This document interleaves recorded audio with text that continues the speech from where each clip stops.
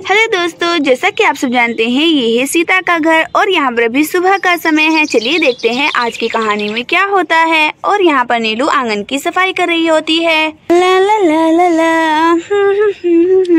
अरे वाह, देखो तो आज का दिन कितना ज़्यादा सुहाना है, कितना मज़ा आ रहा है झाड़ू लगाते हुए आँगन में, कितनी ठंडी ठंडी हवा चल रही है। ये तो कितना ज़्यादा गर्मी पड़ रहा था, बाप रे बाप, चलो चलो, अब थोड़ा सुकून मिला। एक दो बारिश होकर तो आराम मिल ही जाता है। आज तो मेरा बहुत ज़्यादा मन हो गया झाड़ू लगाने का, नहीं तो मेरा बिल्कुल भी मन नहीं करता है, बहुत ही सर कटता है। ये बोलते हुए नीलू आँगन की सफ़ाई कर रही होती है। मौसम बड़ा बेईमान है। आज पहली बार। अरे वाह, गाना गाते हुए झाड़ू लगाने का मज़ा ही कुछ और होता है। यहाँ पर नीलू मज़े मज़े में झाड़ू लगा रही होती है। अरे शिवम बेटा रो मत जाओ जाओ मैंने तुम्हें बोला ना बाहर जाकर खेलो। तुमसे भी छोटे छोटे बच्चे बाहर खेलते हैं लेकिन तुम तो देखो कितना ज़्यादा डरते हो। मम्मी बाहर कुत्ते कुत्ते। अरे नहीं नहीं छोटे बच्चे को बिल्कुल भी डॉग कुछ नहीं बोलते हैं। अगर तुम उन्हें छेड़ोगे तो तुम्हें ज़रूर काटेंगे उन्हें कुछ भी मत बोलना ठीक है ना? किसी को परेशान मत करना जाओ जाओ आराम से जाकर बाहर बच्चों के साथ में खेलो। ठीक है ये खेलना हाँ, ये बाहर जाना जाना। और यहाँ पर शिवम बाहर बच्चों के साथ खेलने के लिए जाने लगता है। अरे शिवम बेटा ध्यान से। रोड साइड मत जाना बिल्कुल भी ठीक है ना? ट्रैफ़िक बहुत ज़्यादा होता है, है ये खेलने जाना क्रिकेट मैच खेलना बॉल से खेलना। और यहाँ पर माधुरी भी शिवम के साथ साथ खेलने के लिए जाने लगती है। अरे वाह माधुरी को तो देखो शिवम का कितना ख्याल है। अच्छा माधुरी तुम जा ही रही तो उसका अच्छे से ख्याल रखना ठीक है ना? इधर उधर मत जाने देना। चलो चलो, अब मैं बेफिक्र हो गई हूँ। माधुरी शिवम के साथ में जो चली गई है। अब सारा काम अच्छे से कर पाऊँगी, नहीं तो कितना ज़्यादा थक गई थी मैं। अरे वास कितना ज़्यादा मज़ा आ रहा है मुझे झाड़ू लगाते हुए। अब तो मेरा झाड़ू पूरा ही हो गया। अब मुझे और काम करना पड़ेगा। अरे नहीं, सीता कहाँ पर चली गई है? ये लड़की भी ना। अरे सीता सीता कहाँ पर हो तुम? अरे ये क्या, ये सीता भी ना। शिवम के चक्कर में लगी रहती है पूरा टाइम अब देखो वहाँ पर जाकर खड़ी होगी, पता नहीं वहाँ पर क्या कर रही है। आखिर मुझे सीता की समझ में ही नहीं आती है या क्या करती रहती है। मुझे तो कुछ भी समझ में नहीं आता है। चलो रसोई देख लेती हूँ जाकर क्या बनाना है आज खाने में। और यहाँ पर शिवम बच्चों के साथ में झगड़ रहा होता है। मेरा दूध मेरा दूध दो दो। मेरा दूध, मेरा ये मेरा है। नहीं नहीं मेरा है मेरा और यहाँ पर शिवम दो बच्चों के साथ में दूध की बोतल के ऊपर झगड़ रहा होता है। और यहाँ पर माधुरी भी शिवम का साथ देने लगती है और बच्चों को परेशान करने लगती है। हाँ, दो दो दो दो दो दो। मेरा दो दो दो दो। मम्मी मम्मी दो दो। ये तुम्हारा नहीं है मेरा है दुदू गंदे गंदे चलो मैं लेकर चलता हूँ अपना दुदू और यहाँ पर शिवम अपना दूध लेकर जल्दी से अपने घर के अंदर जाने लगता है। यहाँ पर माधुरी भी शिवम के पीछे पीछे ही जाने लगती है। ढेर सारा दूध लेना है Madhuri thank you thank you चलो चलो पीता हूँ ढेर सारा मिल्क और यहाँ पर शिवम बच्चों का दूध छीन कर ले आता और जल्दी से लेट कर पीने लगता है। टेस्टी दूधू टेस्टी दूधू मम्मी दूधू मम्मी दूधू दूधू चाहिए मिला दूधू नहीं रोना नहीं भाई रोना नहीं। और यहाँ पर ये छोटा वाला लड़का बहुत ज़्यादा रोने लगता है। भी यहाँ पर बड़े वाले को बहुत ज़्यादा गुस्सा आ जाता है शिवम के ऊपर। अपने दूध लाना लाना। चलो चलो लाते हैं दूध और फिर यहाँ पर दोनों भाई और फिर यहाँ पर दोनों भाई शिवम के घर पर जाने लगते हैं अपना दूध लेने के लिए। दूध दो, दो हमारा दूध तभी यहाँ पर माधुरी दोनों बच्चों को देख लेती है और जल्दी से उनके आगे आकर खड़ी हो जाती है। हटो हटो नहीं नहीं नहीं मम्मी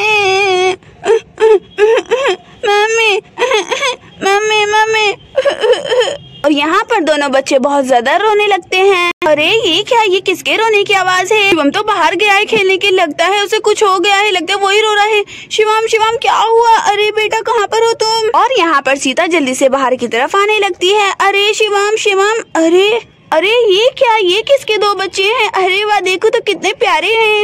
लगता है दोनों जुड़वा बच्चे हैं। अरे, लेकिन शिवम के रोने की आवाज़ थी। अरे नहीं, ये तो ये दोनों बच्चे ही रो रहे हैं। अरे, बेटा, तुम किसके बेटे हो?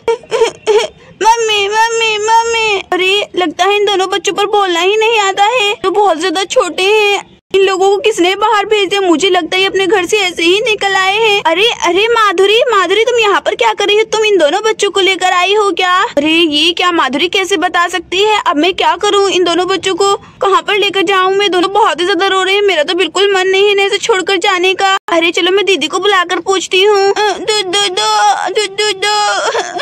हमारा अरे, ये क्या? इनका दूध दूध कौन ले गया है आखिर? ये बच्चे दूध कैसे मांग रहे हैं? इनका दूध कहाँ पर गया? अरे, मुझे तो कुछ समझ ही नहीं आ रहा है। नीलो दीदी नीलो दीदी, जरा बाहर आइए ना। अरे अरे, ये क्या?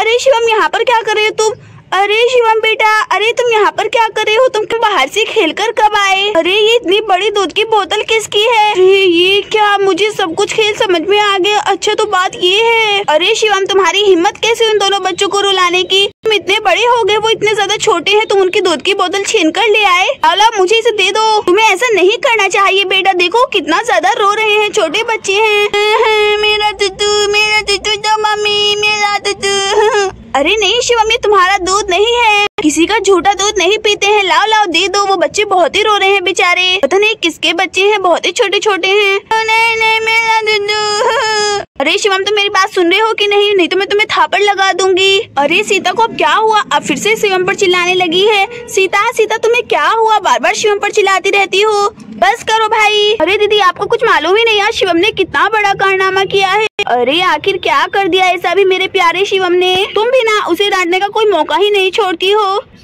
अरे दीदी, आप उसके पक्ष मत लीजिए। ये मेरे साथ में बाहर आपको दिखाती हूँ। अरे बाहर क्या है? चलिए ना, मैं आपको दिखाती हूँ दीदी। चलिए चलिए मेरे साथ में। अरे, आखिर क्या कर दिया शिवम ने? मैं भी ना शिवम का ही पक्ष लेने लगती हूँ। ये देखिए दीदी। अरे अरे वाह सीता, ये किसके बच्चे हैं? कितने नुन्नू मुन्नू से हैं? अरे वाह, कितने प्यारे हैं ये। अरे, लेकिन इतना ज़्यादा क्यों रो रहे हैं सीता? अरे, आ जाओ बेटा, तुम किसके बच्चे हो? यहाँ पर क्या करो, इतने छोटे से हो। फिर चोट लग जाएगी, ऐसे बाहर नहीं घूमते हैं छोटे बच्चे। अरे, सीता, बताओ ना, आखिर ये किसके बच्चे हैं? आओ बेटा, आ जाओ। हाँ दीदी, मैं वही तो बताना चाहती हूँ आपको। शिवम इन दोनों बच्चों की दूध की बोतल छीन कर ले आया। और ये दोनों बच्चे बहुत ही ज़्यादा रो रहे हैं, देखिए ना आप। क्या करो शिवम का? आखिर लड़का तो बहुत ही बिगड़ रहा है दिन प्रतिदिन। अरे, क्या सीता? शिवम की आदत तो बहुत ही खराब हो गई, सच में। अरे, सीता, मुझे लगता है हम लोगों को शिवम को डांटना चाहिए और उसका स्कूल में एडमिशन करवा देना चाहिए, है ना? अरे हाँ दीदी, मैं आपको कब से यही तो बोल रही हूँ, लेकिन आप भी ना शिवम को हमेशा बचाती रहती है, बस। देखिए, उसकी वजह से आज एक सब क्या हुआ? दो बच्चे बेचारे कितना रो रहे हैं उसे तो देखे नहीं जा रहे। चलिए चलिए ना, घर में लेके चलते हैं। इनके मम्मी पापा ढूंढते हुए यहाँ तक ज़रूर आ जाएँगे। अरे हाँ सीता, चलो चलो, लेकर चलते हैं। सॉरी सॉरी मुझे माफ़ कर दो। अरे सीता, शिवम भी ना कैसे कैसे काम करने लगा है। अरे हाँ दीदी, वही तो। अरे बच्चों, यहाँ पर बैठो तुम। अरे बच्चों, ये लो तुम्हारी दूध की बोतल। अरे लगता है दोनों एक ही बोतल से दूध पीते हैं।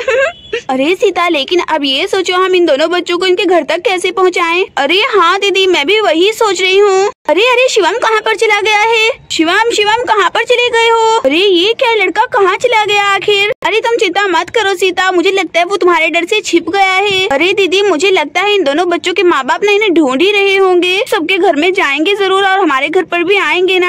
हम उन्हें सारी बात बता देंगे, ठीक है ना? हाँ सीता, हम उन्हें पूरी बात सच सच बताएँगे, नहीं तो वो हमें गलत ही समझेंगे। ये हम उनका इंतज़ार करते हैं। और फिर यहाँ पर नीलू छोटे बच्चे को दूध पिलाने लगती है। चुप हो जाओ, चुप हो जाओ, ये लो दूध पियो। तुम्हारी मम्मी आती ही होगी। चुप हो जाओ। अरे हाँ बेटा, चुप हो जाओ। देखो, तुम्हारे मम्मी पापा आ ही रहे हैं तुम्हें लेने के लिए। रो मत। और यहाँ पर नीलू और सीता दोनों बच्चों को बहुत ज़्यादा प्यार करने लगती है।